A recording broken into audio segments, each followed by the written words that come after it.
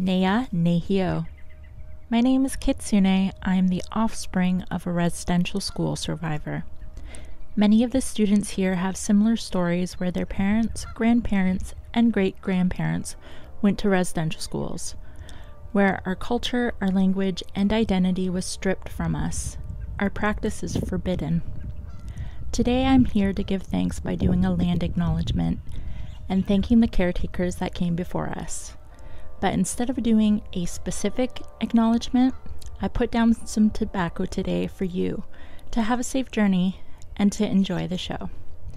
If you'd like to know whose land you're currently occupying, check out these two resources here. So, whether you're here in Ontario, in Toronto like the students, or nationwide, giving thanks to those who came before us means that we are giving thanks to our ancestors and the many generations who came before us today. Aanii Boozhoo tansi.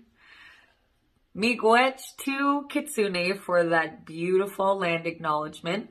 I believe we should all acknowledge the land we walk on just a little bit more each day and give thanks.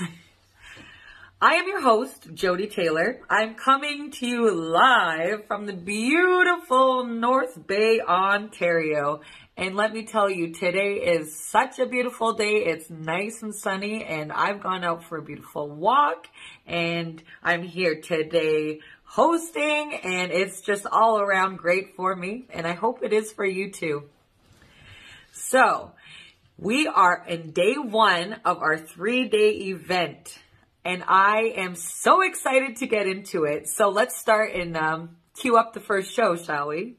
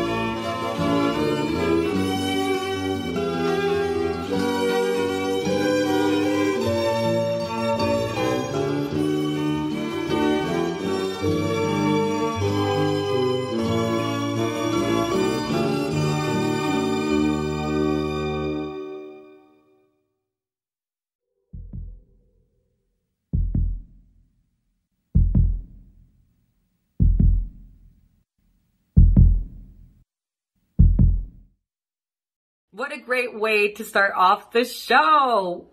Woo! Starting strong. Now, I would like to acknowledge all of our viewers that are here today. Your support is greatly appreciated here at CIT.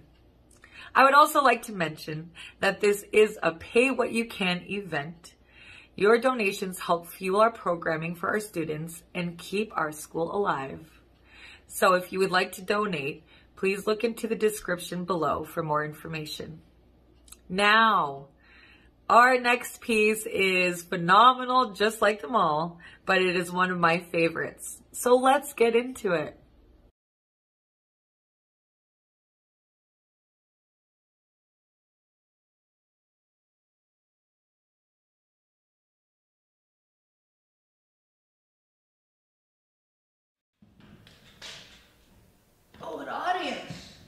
Wow. What a day, eh? We got a few real nice days booked there singing and that. So I'm gonna do some songs for you. How is everybody? Yay! Yeah. Some energy today. Oh God. This is good. This is a good thing. So I am a, a licensed string musician. And the only reason I got a license is like I can't run as fast as the panhandlers, so I don't have to run with my license. And I'm going to put my my bucket on. I'm going to put my beautiful, wonderful hat on again. Now, what am I going to sing for you? Whoa, maybe I should tune it. Whoa, it was tuned when I bought it, eh? Never thought I should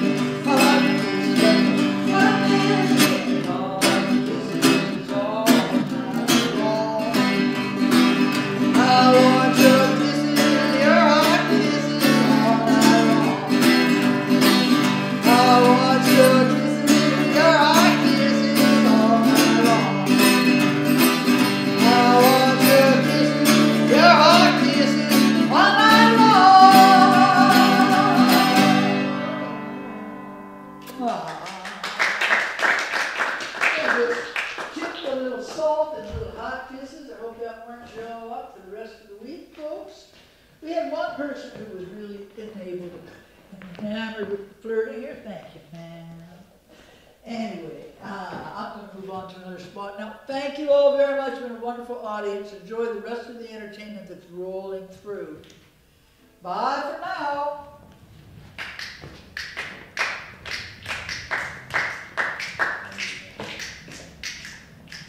He's a strange guy, man.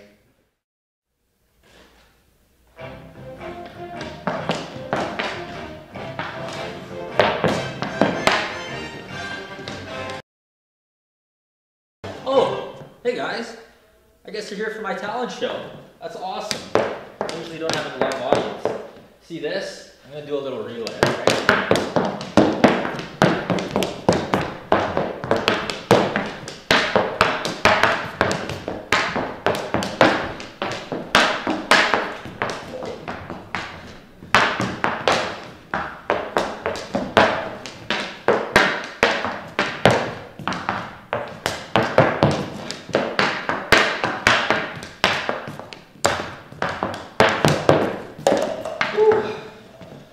Oh, that's the first one. Next, let's try some juggling.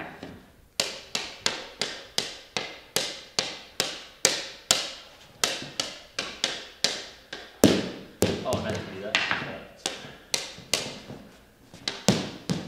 Meant to do that, by the way. Oh, I meant to do that, Oh.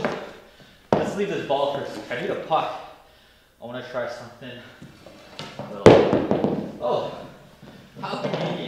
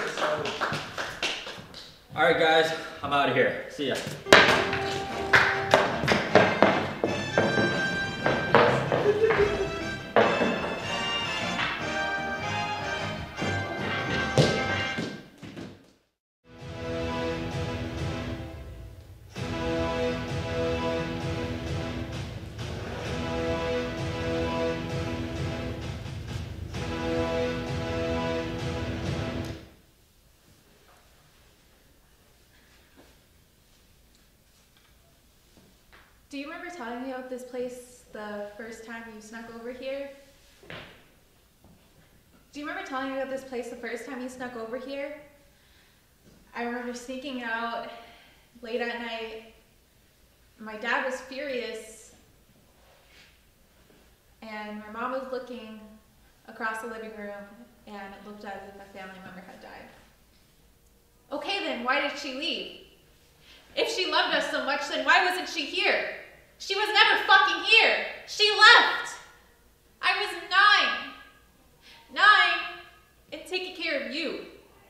Taking care of all of us. I was in fourth grade, dragging your ass passed out in the yard so you wouldn't freeze to death. Staying up all night with Ian when he had chicken pox. I washed Carl's shitty diapers. I picked lice out of Liam's hair. And I was here when Debbie got her first period. Not Monica. Me. And never you, you were too fucking loaded. She was a junkie. And a drunk. She didn't love me. She didn't love you. She didn't give a shit about anyone but herself. You know, I'm glad she's dead. At least now she can't fuck us over anymore.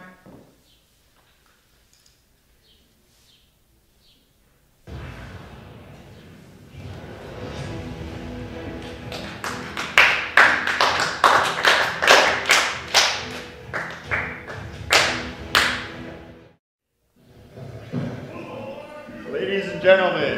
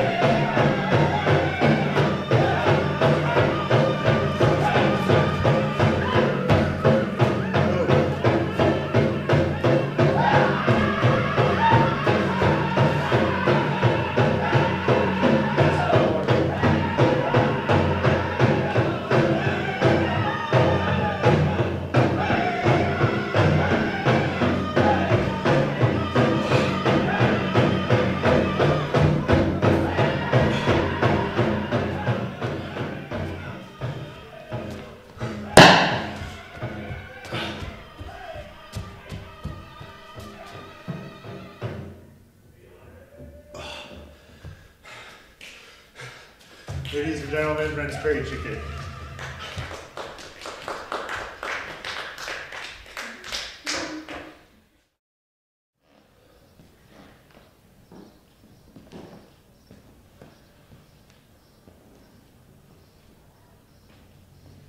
What? You want me to entertain you? like a child? Is that what you want from me, huh? What do I look like to you, a clown? Don't answer that.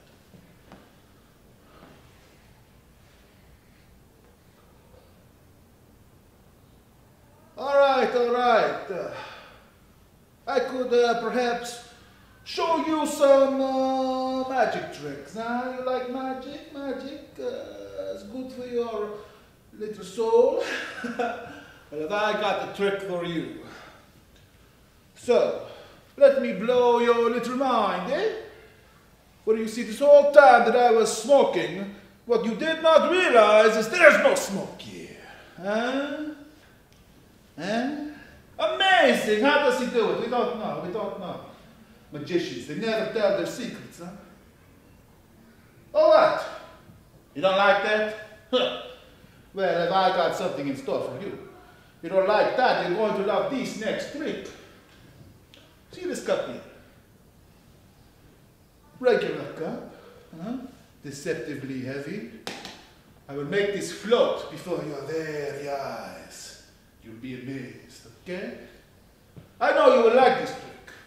Don't worry, don't worry, okay? Here we go. One, two, three. Abracadabra, alakazam, and it's floating. Ah, it's pretty good, huh? Pretty good. Pretty amazing, girl. How does he do it? We do not know. Oh, you don't like that one either, huh? Well, uh, let me try this one for you, huh? You see this water in this cup?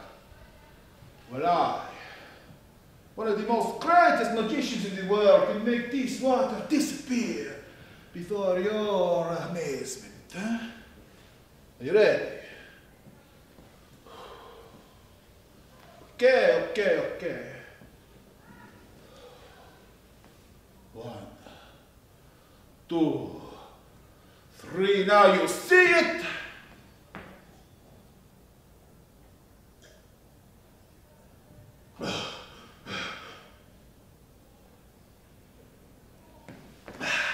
And now you don't. Pretty amazing, no? How does he do it? We don't know. Oh, stop. You don't like that one either? All right, all right, all right. Let me, uh, let me try to blow your mind one more time, okay? This one, this one is the one. This one is good, it's good, it's good. For you see, some people were just born with the gift of telepathy, such as me. So, for this trick, I'm going to read one of your dirty little minds. But don't worry, I won't reveal all of your secrets, eh? In order for this trick to work, I need you to think of uh, one day of the week. Any day of the week between Tuesday and Thursday. Can I get a volunteer? You, sir, yes, yes, yes.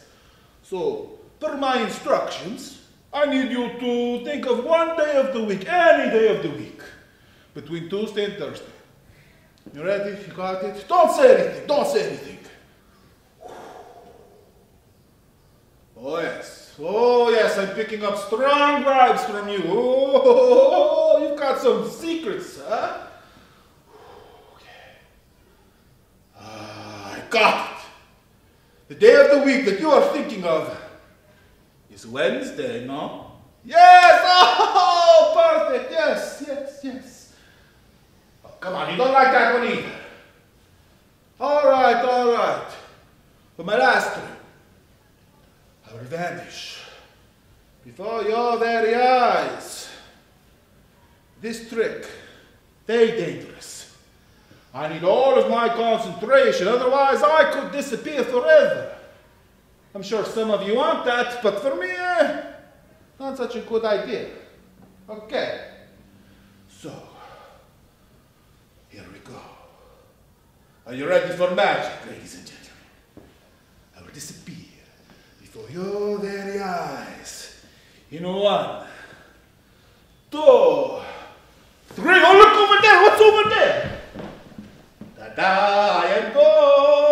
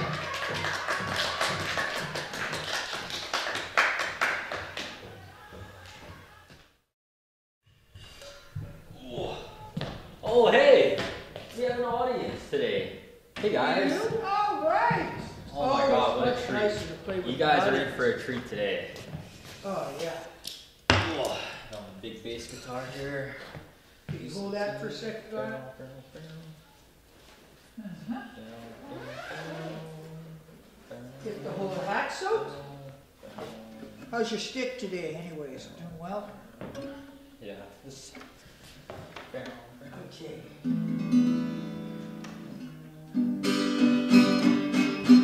All right, hat. There you go, partner. Thank you, partner. All right. So what should we sing for these lovely folks? Ah. Somewhere over the rainbow? Nah.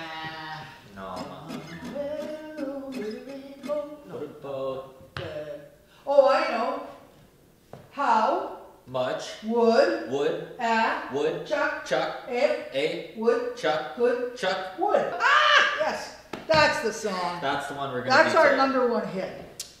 Are you ready? All right. One, two, three. How Oh, no, no, no, no. Oh, no, what's no, going no. on there? Are you good? No, no, I on the I'm right good. key? I'm good. I got it. It's down here. It's yep, yep. Okay. Okay.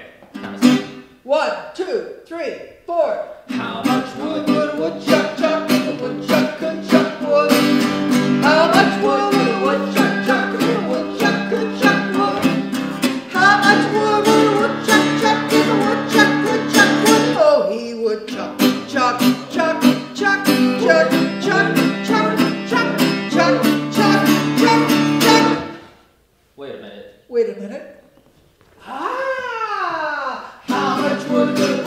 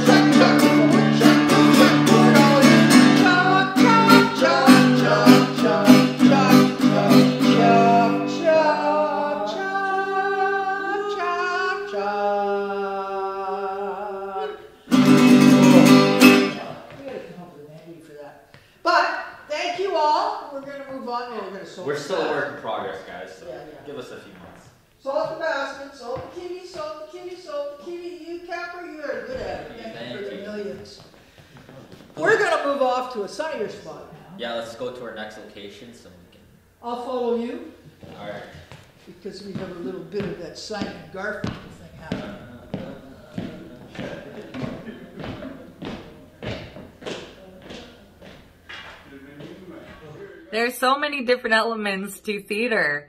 I am enjoying each and every one of them. Now, this next performance or performances is um, a type of theater display that I have yet to see on a theater stage or theater showcasing. So I am very ecstatic to watch what we have next in store. Take a look.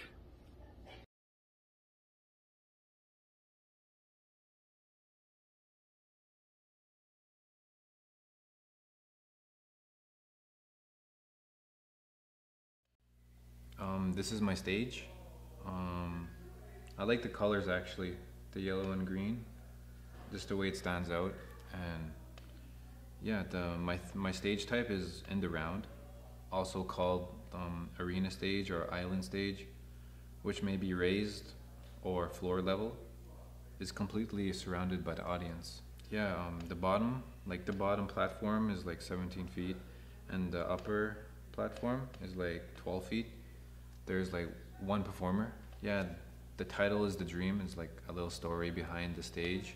Starting as a seed, the tree represents growth, being alone, learning, and moving forward. 10 years of manifesting a dream, going through obstacles and getting where I need to be. I've done the task, got everything I've always wanted, but am I truly happy? Like, that's the thing. I should, honestly, I should take this as a new beginning a beginning to a new life, a life I dreamt of. Yeah, that's what that's what um, this tree stands for, like growth, and like these levels of these columns, like just like like growth, yeah. And because I had no like uh, like I said, being alone in this story, like because I had no father figure and all this stuff, and I had to learn to like learn by myself and understand life and stuff like that. You know? And yeah, thank you guys for um, listening to my stage, my story about it and stuff, and I really appreciate it.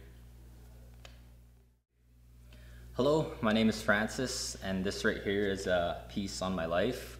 So right here, this is a proscenium stage theater. The measurements are 20 inches wide by 14 inches in height, and essentially one inch you will equal one foot.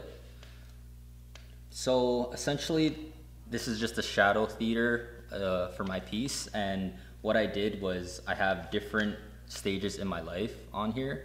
So for here, for example, 2020 to present, I just wrote different symbols that meant something to me or had an impact on my life. Here, for example, CV19 is obviously COVID. That had a big impact on my life and everyone uh, else's life. A lot of face masks. Right here is a luggage bag to represent me moving to Toronto, which also corresponds to this symbol right here, which means new beginnings. Right here is a camera because I've done a lot of filming since I've come to Toronto. Basically, compared to my whole life, I've never really been in front of a camera, so this is something I'm still getting used to. Right here, just a basketball. I've also had a bigger interest in basketball within these past few years.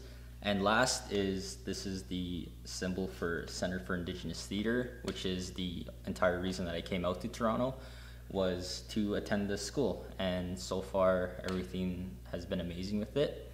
But yeah, that's just an example of my piece here. I can quickly demonstrate how I scroll. So this would be the last uh, last stage, but I can go back here and over here would be everything that meant something to me from 2014 to 2019. So yeah, just these are just essentially different stages in my life. Um, and without further ado, this is my piece. Thank you. Okay, so the title for this is Berry Fast Journey. It is a 12 by 16 one inch equals one foot. It is a proscenium type style stage. And basically, the story behind it was that it was supposed to represent my time in isolation for my berry fast. And what a berry fast is, is basically when I got my first period, I my grandmother asked if I would like to go on a berry fast, just like my sister did, like a couple years before. And a berry fast is what a young woman does once they begin their time, as my kokum said, when their grandmother takes over. When I told her I was willing to do the fast, she came over as soon as possible and she started off by telling me the rules. No berries, no makeup, no cutting my hair, no boyfriends, girlfriends. And when I clipped my nails, I had to put them in a bag and burn them. I couldn't hold newborn babies. And I was also told that since I was a young woman, my dad and other men had to treat me as such. So, like, no horseplay, as she said, like, no piggyback rides because I was just this new woman, right? I was also supposed to be prepping for a giveaway at the end of the year for my coming out ceremony, making stuff like ribbon skirts, jam from the berries that I was supposed to pick throughout the seasons. So July I would pick blueberries, June I picked strawberries, and as I mentioned earlier, I did self-isolate, and that was just a time to reflect on your childhood into going into womanhood. Um, I self isolated for four days at my uncle's camp, and as you can see, like my stage is supposed to represent like being outside and it's supposed to like show what I was seeing when I was in isolation because at night I would go out and I would look at all the stars and listen to the water and just like sit there and like really appreciate the beauty of like the night sky Someone was allowed to bring me food, water, but that time was still meant to reflect on myself, so I wasn't really allowed to interact with them other than just getting food. Um, and also, that time was also used to prep for my giveaway. And at the end of my berry fast, at the end of like the year, that's when we did the big ceremony, my coming out ceremony, as my my kokum said and that's when I gave away all the items that I had made, which was like jam, skirts. Um, I had some baked goods that I made. Um, I also made a couple shakers, and I just gave that away to the guests that were there. Today I'm going to present you my uh, proscenium stage. Um, it is 20, 24 feet each way of going by a foot. And uh, what the theme of my stage is, is that I wanted to show my support of murdered and missing indigenous women. Um, we were honoring that a couple weeks ago and I just thought I would uh, think of an idea of how I want to support my fellow natives and to show a little bit about our culture. And the theme is like black and red. As you know, um, we tend to uh, put blood on our faces just to remind of all the missing women out there, indigenous women. And yeah, I just wanted to show my support and that there is a, a lady in front of there sitting with her hand out like this of uh, saying that we stand strong because all of us natives, we all stand together and support each other. And that's pretty much of what I got to say for a little bit. And yeah, thank you.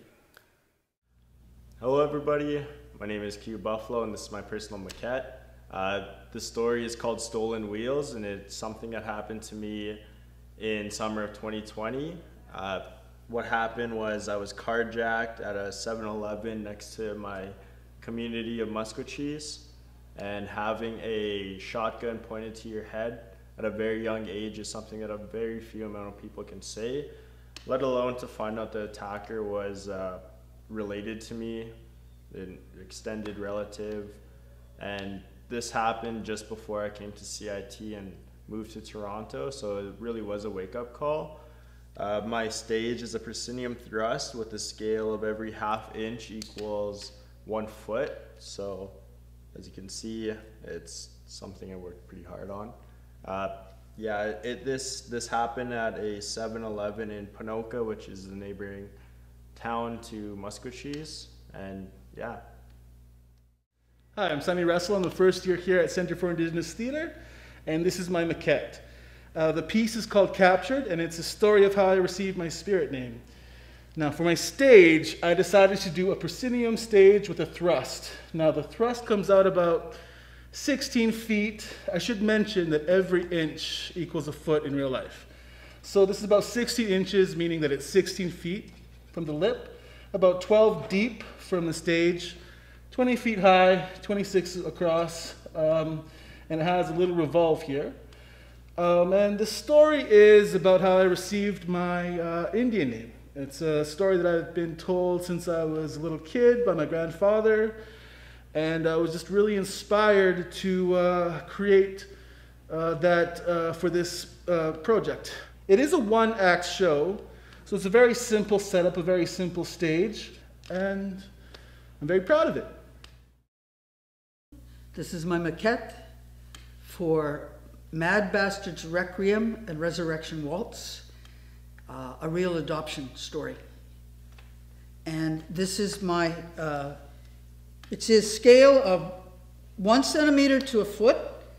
Uh, I designed the whole theater because I, uh, I wanted it to be a surround experience like uh, Robert Lepage.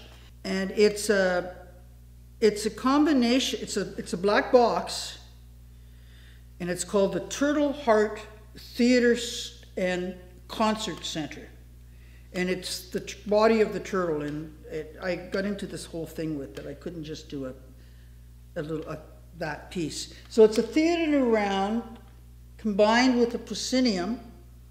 It's a totally accessible place, and it's got this moving thing that I'm very proud of that we'll get tomorrow. And I spent a lot of hours on it. I'm really proud of the fact that I remember my mathematics and my trigonometry and all that, algebra and everything like that to get it together.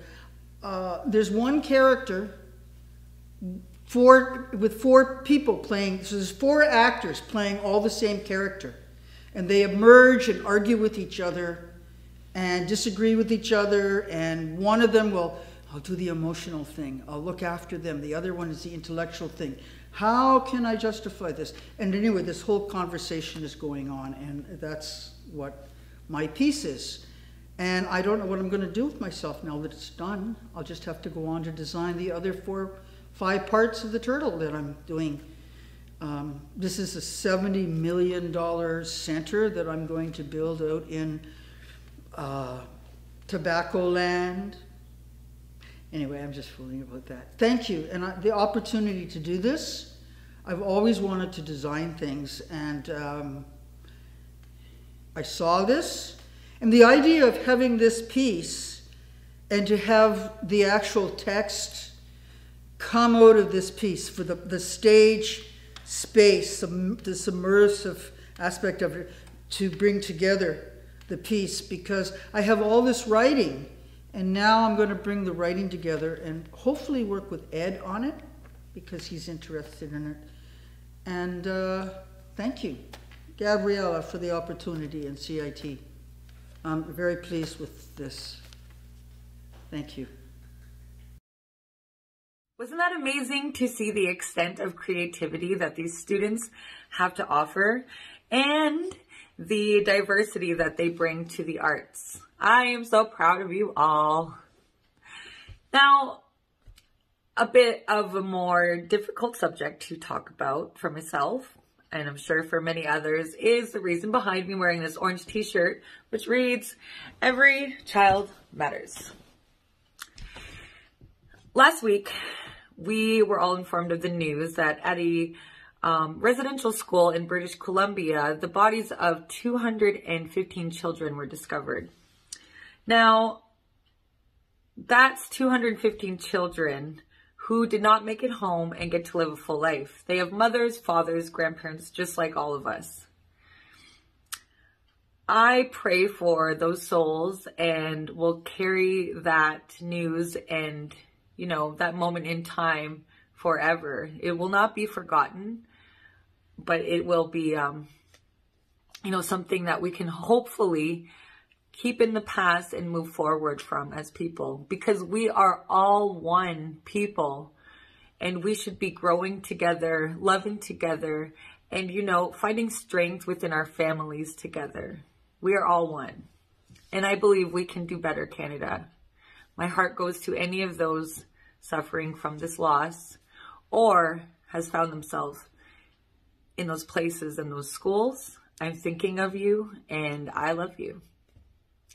So next we have Alejandro who is doing a dance piece and he would like to dedicate it to those 215 children. Thank you very much, Alejandro.